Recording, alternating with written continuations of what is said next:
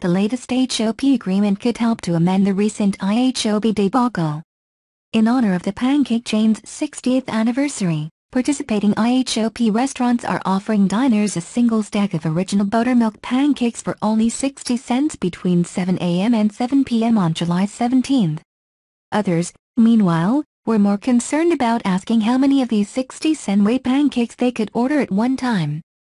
IHOP started promoting its new hamburger offerings in early June, after insinuating that the chain would change its name to IHOB, but kept abreast of what B would represent until June 11.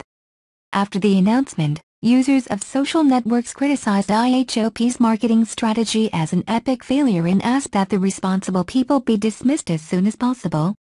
Restaurant chain mates responded by taunting IHOP on Twitter, with places like White Castle promising never to change their name to Pancake Castle, and Burger King officially changing their Twitter identifier to Pancake King for that day.